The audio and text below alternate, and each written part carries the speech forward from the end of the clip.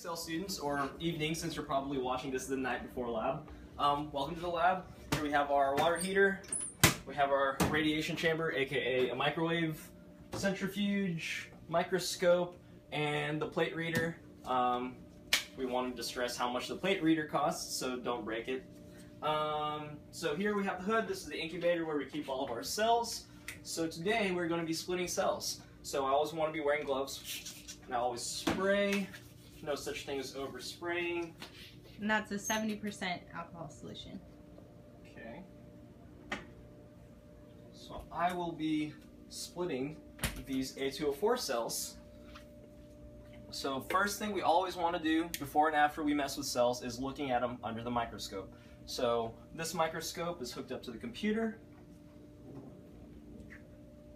And so here we have our A204 cells. So um, normal cell maintenance, you decide how much of the cells you want to take and put into a new flask. And so this one we're going to take one eighth of the cells. So we're going to do a one to eight split and I'll explain that later. So we're going to turn on the hood. So these three switches, flip them all up.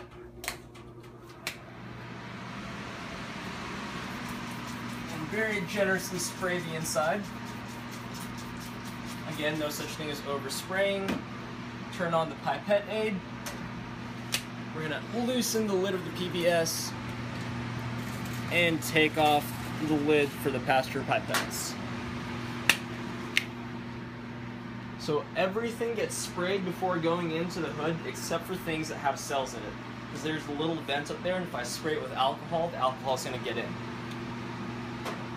Okay, so I need two things, my trypsin and the media for the cells, which you have to heat up in the water bath because we want it all to be warm to not shock the cells. So, take it out of the bath. And each cell line has different media. You can see they're labeled on the front and make sure you have the correct cell line.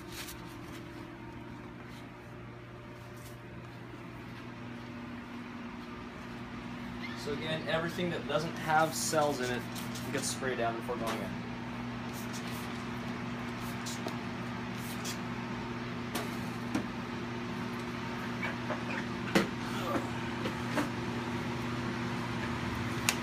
So always your hands if you touch anything outside of the hood.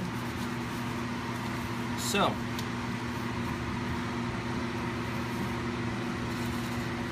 so our flask is in the hood. So um, when it lays in the incubator, it lays like this. So all the cells right now are adhered to the bottom or the back of the flask. So I want it facing me. First thing I'm gonna do is I'm gonna vacuum off the medium. So I loosen it, and I'm going to turn on the vacuum. And so it's very crucial when I'm handling the pipettes or anything else that's gonna go into media or cells or anything, that I only touch the very top of it to not contaminate the tip. So hold it like this. Grab the end of the uh, vacuum tube. Notice I'm only touching the tip of it. So from here, I can take off the lid, hold it like that. So I'm never setting the lid down to make contact with anything inside. And I want to put the tip here in the front corner because as you remember, the cells are on the back side, so I always just want to touch the front side.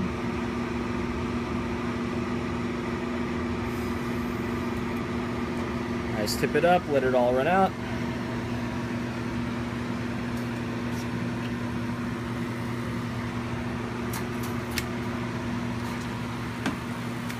Okay, so from here, first thing I want to add is PBS. And PBS, all it does is just wash the serum off the front of, uh, off the top of the cells. So, loosen that, loosen that. And for a big flask, I'm gonna, add 10 mils of PBS. So whenever I open these, I never want to open it out here. I always want to have it deep under the hood. And when I open it, I want to open it where the, um, the side that I insert is what I'm handling. And if I touch the end or anything down here, I just throw it away and start over because I don't want any contamination getting in. So here, just gonna insert it. Sometimes you feel a little click, sometimes you don't. And I pull it off, never touching the end. So from here,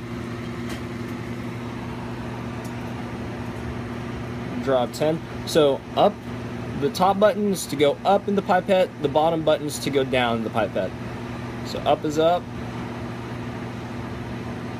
get it up to 10. I'm gonna run the PBS down the front because I don't want to wash off any of the cells yet.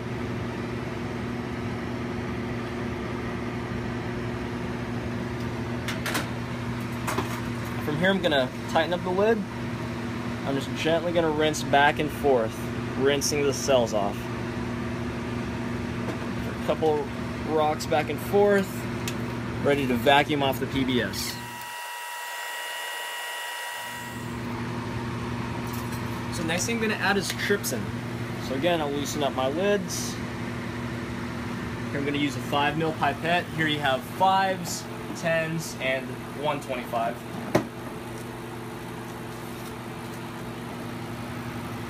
So again, I open it with the side that goes into the pipette aid, never by the tip.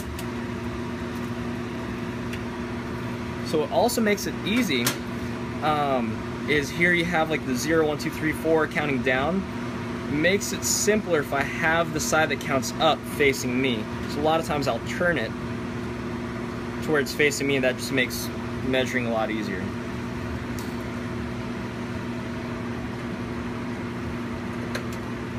So I'm gonna pull up three of trypsin. And notice, if I drew too much, once I pull it out of the bottle, I'm never gonna put it back in. Uh, just dump it out in a beaker or something. But once this leaves, I can't dip back in. Um, and if I have a pipette that I dipped in something else, I can never go into a different, uh, different container. So the trypsin, now what the trypsin's gonna do is knock off the cells uh, and um, basically just let them loose from the back of the flask. And so now I can run that down the back. Tighten up my lid and put it in the incubator for a few minutes.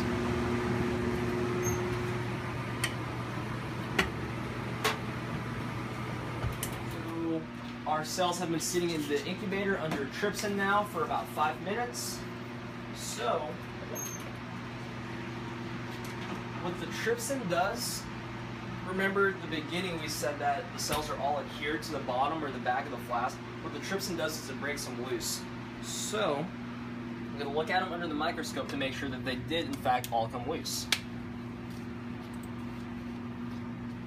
So, you see here that a lot of them are still stuck.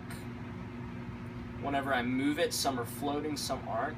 So what you can do is just hold it firmly Notice I'm never tipping it toward the lid, but I'm holding it firmly and I'm just going to smack the back of it lightly. Notice it's never splashing out into the lid. I'm keeping it relatively still.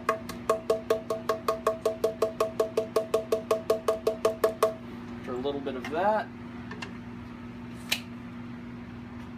now they're all floating. Just make a note of how clumpy your cells are too. Okay.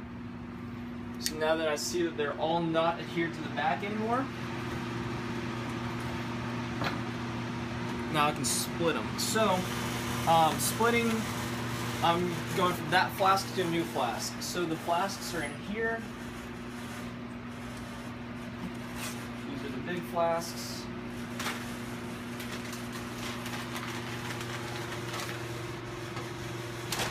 Always make sure to reseal it.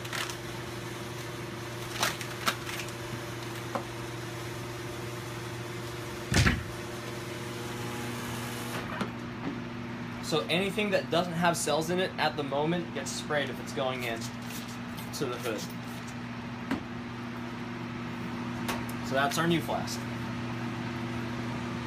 So we said at the beginning of the video that we are going to split this flask 1 to 8.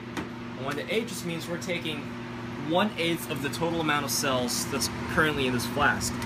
So there's three mils of trypsin in there, and so if I add five mils of our media, then I'm gonna have eight mils total. So now that I have eight mils total, I can move one mil, which is an eighth of the total volume, into the new flask. And so that's how I get one eighth of all the cells from that flask into our new flask. So currently three mils of trypsin in there. We're gonna add five of our media to bring it up to a total of eight mils in the flask. Again, I open up the pipette deep under the hood, not out here.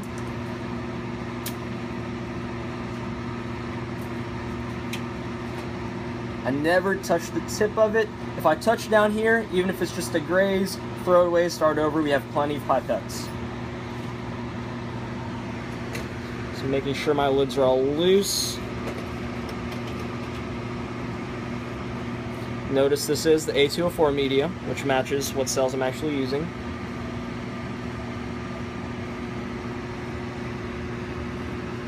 Bring it up to five. So I add five. So now I have a total of eight in the flask. So notice Jesse said earlier to note how clumpy the cells were under the microscope. So these were fairly clumpy. And so all I'm doing is I'm just going up and down.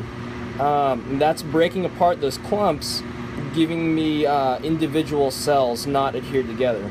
Um, one thing to really avoid is bringing it too far up into the cotton and into the the um, pipette aid. Really don't want that because Jesse's going to have to come in here and take it apart.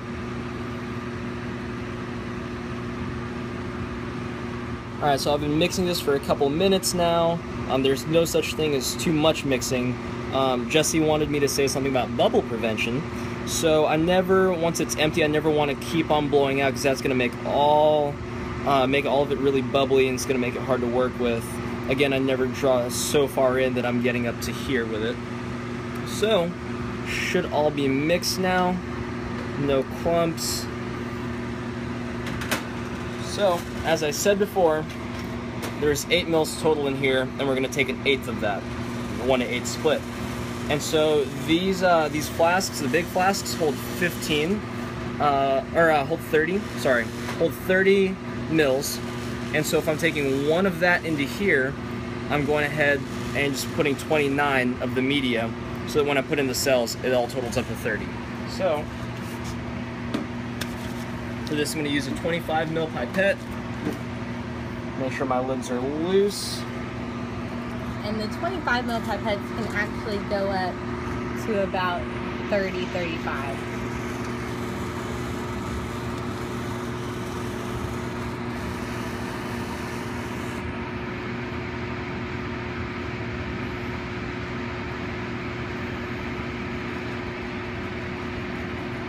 You can see the negative reading. So here I'm at 29.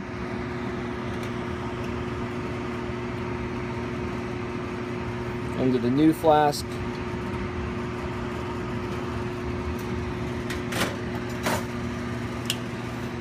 So I have 29 in there, and I'm just gonna take one from here into there, and we'll be done. So five mil pipette.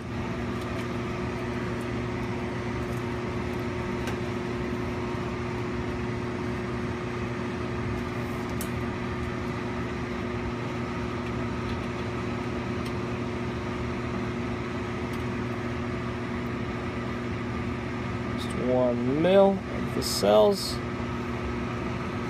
So I have an eighth of the cells from the original flask. And you want to try and put the tip into the media so you're not dropping them too far. There we go. And so, as I said before, anytime I work with cells, immediately before and immediately after, I want to see how they look under the microscope.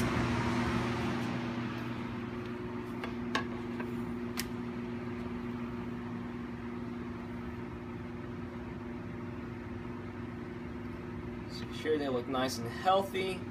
Um, if I saw really big clumps, I would go in and just mix it again like we did earlier. And these should be good, so I'll just label my flask, put my name, the date, the cell line, um, and what we split it. So I would write 1 to 8 And the passage number. and the passage number. Um, passage number is just how many times it's been split or worked with. So since that originally said passage 10, let's write passage 11 on it and put it back in the incubator. It should be done.